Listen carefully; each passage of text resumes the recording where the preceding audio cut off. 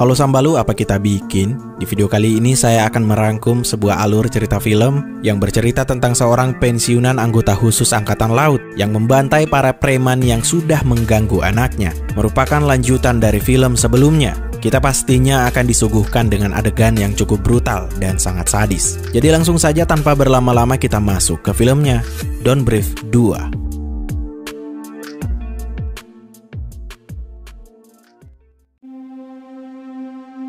Diawali dari seorang anak bernama Phoenix yang berhasil lolos dari kebakaran yang menimpa rumahnya. Hingga saat dia kehabisan tenaga, anak kecil itu pun pingsan. Delapan tahun kemudian, Phoenix pun tumbuh menjadi seorang gadis yang dilatih oleh ayahnya yang bernama Norman tidak pakai kamaru untuk menjadi anak yang tangguh. Bahkan, sering kali Norman melatih anaknya dalam ujian bertahan hidup dengan menggunakan pistol. Seperti dalam film sebelumnya, Norman adalah seorang pensiunan tentara yang menderita kebutaan akibat perang di masa lalu. Di rumahnya itu mereka hanya tinggal bertiga saja, termasuk anjingnya yang bernama Shadow. Saat itu, Phoenix mulai mempertanyakan mengapa mereka tidak punya foto sang ibu. Namun Norman berdalih bahwa saat kebakaran 8 tahun lalu, semuanya hancur tak tersisa, termasuk foto ibunya. Kita juga akan diperlihatkan dengan salah satu tokoh yang bernama Hernandez, yang kerap membantu Norman untuk menjual tanamannya. Melihat Phoenix yang sudah lama tidak keluar rumah, Norman pun dengan terpaksa mengizinkannya untuk ikut ke kota bersama Hernandez. Sebelum ke kota, Hernandez menawarkan untuk mengunjungi makam ibunya yang bertempat di rumah lamanya.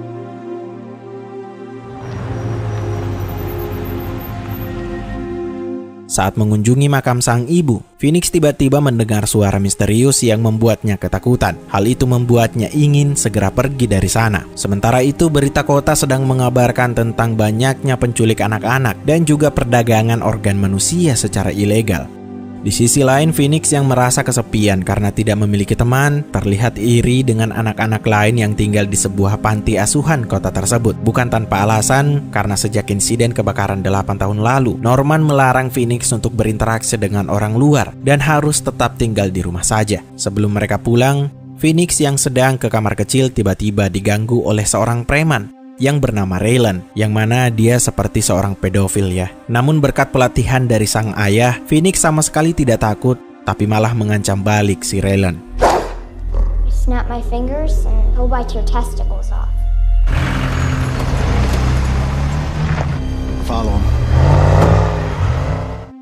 Setelah sampai ke rumah, Hernandez memperingatkan Norman untuk tidak terlalu mengekang Phoenix, karena hal itu akan menyiksa anaknya sendiri. Meskipun Norman adalah veteran perang yang terbiasa dengan kekerasan, namun menurut Hernandez jangan sampai Phoenix juga menderita karena itu. Singkat cerita, saat Hernandez akan pulang, nampak sebuah mobil yang menutupi jalan, hingga Hernandez harus turun untuk meminta pemilik mobil itu meminggirkan mobilnya. Tak disangka, Mobil itu ternyata adalah milik Raylan yang datang bersama anak buahnya. Can you move your truck off the road now? Whatever you want. Merasa curiga dengan mobil tadi, Hernandez hendak menghubungi 911. Tapi tiba-tiba, salah satu anak buah Raylan ternyata masuk ke mobilnya dan membunuh Hernandez dengan cara memukul kepalanya menggunakan palu. Sementara di rumah Norman, Phoenix yang merasa kesepian memaksa agar dirinya bisa ikut sekolah umum seperti anak yang lain. Namun Norman yang overprotective merasa bahwa sekolah umum tidak aman dan lebih baik sekolah di rumah saja. Setelah perdebatan itu, Norman berniat memberi makan anjingnya. Namun ternyata si anjing menghilang entah ke mana.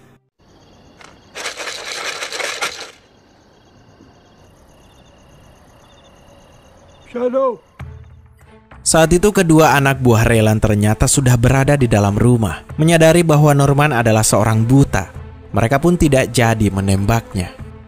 Setelah Norman keluar untuk mencari anjingnya, kedua anak buah Relan pun menyusuri rumah untuk mencari Phoenix. Di sini akhirnya kita akan melihat kemampuan Phoenix yang bisa bersembunyi dengan baik dari kedua preman itu.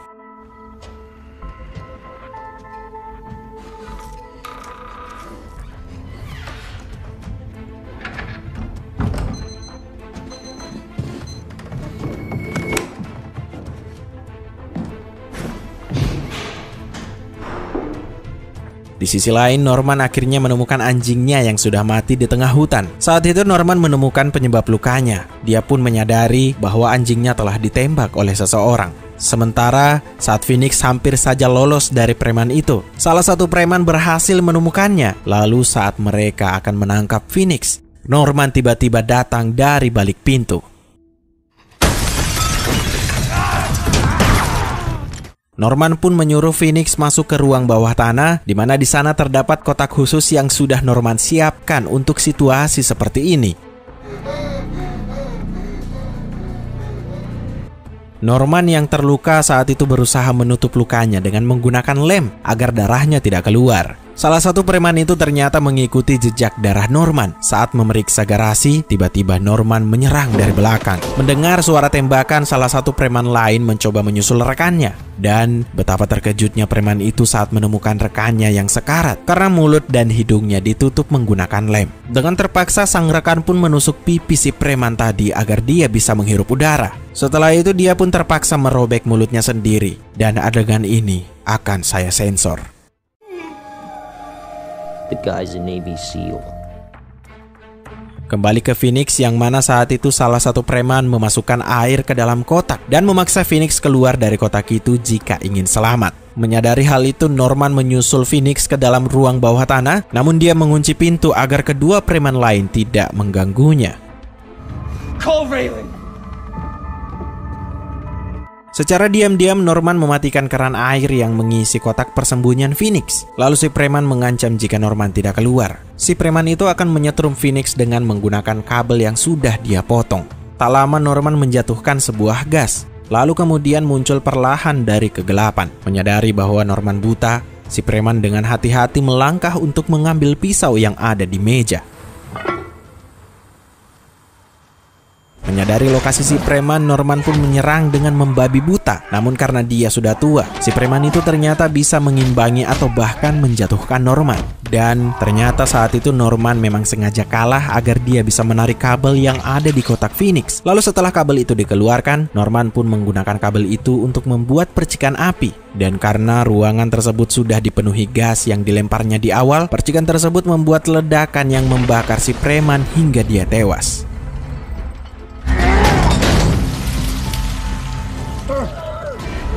me. Tak lama muncullah Relan bersama dengan anak buah lainnya. Di sana dia dikejutkan dengan kondisi mayat anak buahnya yang mengenaskan. Hingga akhirnya Relan memasang mode serius dan tidak lagi meremehkan Norman si buta. Mereka pun segera menyusuri rumah dan mencari Norman. Saat mereka mencari persembunyiannya, Relan mengatakan sesuatu yang membuat Norman menjadi sangat emosi. Hal itu ternyata berhasil memancing Norman keluar dan karena kalah jumlah, Norman pun bisa dikalahkan dengan mudah. Kita juga akan dibuat heran saat Relan membuka kupluk dan memperlihatkan rambut putih yang sama dengan rambut putih milik Phoenix. Hal tersebut membuat kita bisa menyimpulkan bahwa Relan ternyata adalah ayah kandung Phoenix. Relan pun menceritakan kebakaran beberapa tahun lalu yang menimpa rumah mereka. Kebakaran itu ternyata membuat polisi menyalahkannya, sehingga Relan dipenjara selama 8 tahun. Sejak saat itu dia tidak pernah lagi bertemu dengan Phoenix. Saat itu ternyata Norman yang melihat seorang anak kecil pingsan di dekat rumah kebakaran tadi, menculik si anak dan menjadikannya sebagai anaknya sendiri. Sebenarnya suara aneh yang didengar oleh Phoenix saat mengunjungi rumahnya tadi ternyata adalah suara Relan yang juga ada di rumah itu. Setelah menjelaskan semua semuanya, Relan pun menyuruh anak buahnya untuk membunuh Norman. Namun Norman ternyata masih sadar dan berhasil melarikan diri.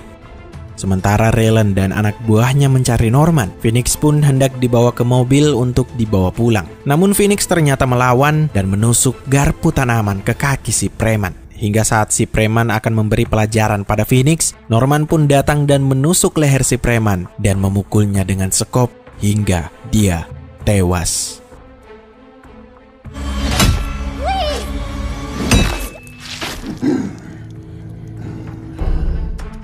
Norman lalu membawa Phoenix pergi dari sana. Sementara saat Raylan dan anak buahnya kembali, dia pun semakin marah saat melihat salah satu anak buahnya dibunuh dengan sangat sedais. Maksud saya sedais. Norman ternyata kembali ke dalam rumah untuk mengambil senjatanya, sementara Raylan mengeluarkan anjingnya untuk melacak keberadaan Norman.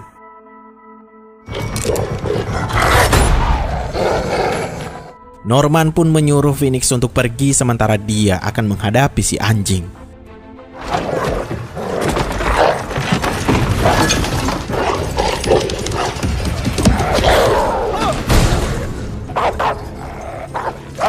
Tak tega membunuh hewan yang tidak berdosa, Norman pun mengurung anjing itu agar tidak bisa keluar. Di tempat lain, Phoenix yang berhasil keluar dari rumah ternyata tertangkap oleh salah satu anak buah Raylan. Karena sudah berhasil mendapatkan anaknya, Raylan pun memutuskan untuk membakar rumah Norman tanpa memikirkan nasib anjingnya yang juga masih ada di dalam sana.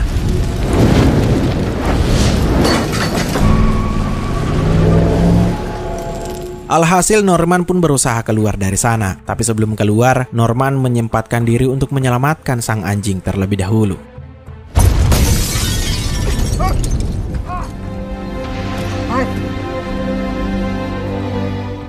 Di tempat lain, Phoenix pun terbangun di sebuah rumah, di mana saat itu dia dipertemukan dengan ibunya yang ternyata masih hidup. Phoenix tentu saja sangat senang, terlebih saat sang ibu memperlihatkan foto saat Phoenix masih bayi.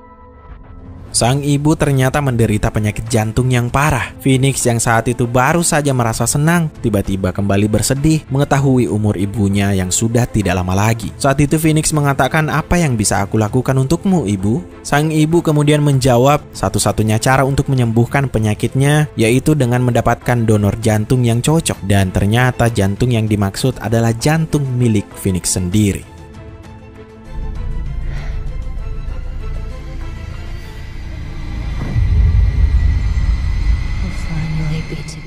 Kembali ke Norman yang saat itu baru saja sadar dari pingsannya. Hingga saat dia mendengar lonceng milik anjing Raylan, dia pun sadar bahwa anjing tersebut bisa menjadi penunjuk jalan yang akan mengantarnya ke rumah Raylan. Di tengah perjalanan dia pun mendapati mobil Hernandez beserta mayatnya yang ada di dalam. Semakin besar rasa ingin balas dendamnya, Norman pun mengambil semua barang yang diperlukan dan bersiap untuk perang. Go home. Go home. Saat dokter akan mengoperasi jantung Phoenix, kita akan sedikit dibuat merinding karena Phoenix ternyata akan dibiarkan tetap sadar saat jantungnya diambil. Tak lama saat operasi akan dilakukan, listrik di rumah itu tiba-tiba mati di mana itu menandakan bahwa Norman sudah ada di dalam sana dan siap membantai semuanya. Selanjutnya, salah satu anak buah Raylan pergi memeriksa saklar lampu. Di sana ternyata sudah ada Norman yang menghajar si preman hingga dia tewas.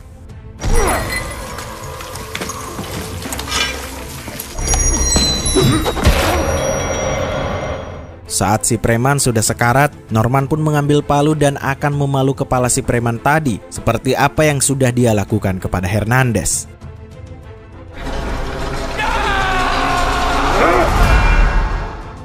Mengetahui anak buahnya tak kunjung kembali, Raylan pun penasaran mengapa Norman bisa mengetahui lokasi mereka. Pertanyaan itu pun terjawab saat anjing yang dia tinggalkan tadi berhasil sampai ke rumah. Raylan pun segera menyuruh untuk mengerahkan semua anak buahnya untuk mencari Norman dan adrenalin kita akan semakin terpacu di mana Norman saat itu bisa mengetahui lokasi dan jumlah semua preman yang ada di sana hanya dari gelombang air yang mereka hasilkan. Alhasil Norman berhasil menembak semua preman yang ada di air tersebut satu persatu.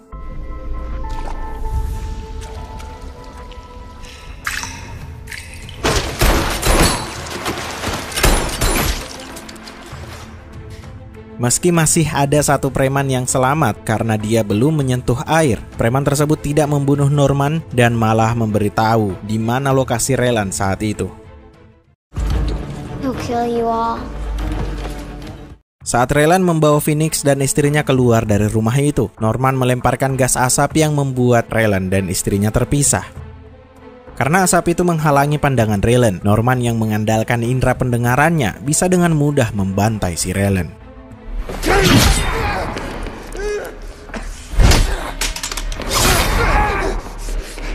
Raylan yang terpojok itu pun akhirnya menembak secara membabi buta. Namun ternyata tembakannya malah mengenai sang istri yang membuat sang istri pun harus tewas. Norman pun tak segan-segan menusuk mata Raylan yang membuat pertarungan ini menjadi imbang antara si buta melawan si buta.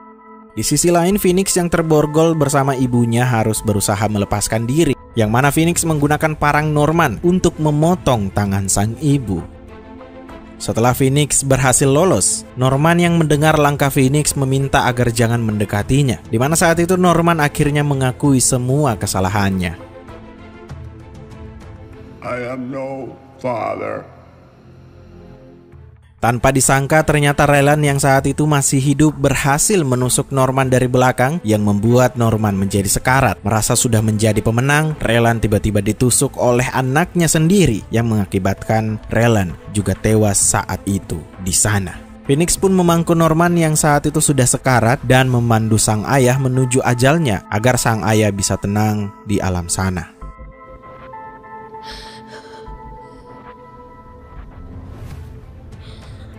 Dan film pun tamat. Itulah tadi alur cerita film Don't Breathe 2 yang meskipun cara penyampaian saya tidak sehebat IQ7, tapi saya berharap Anda yang menonton video ini bisa menikmati alur cerita yang cukup brutal dan juga penuh emosional. Saya Rian pamit, hasta la vista.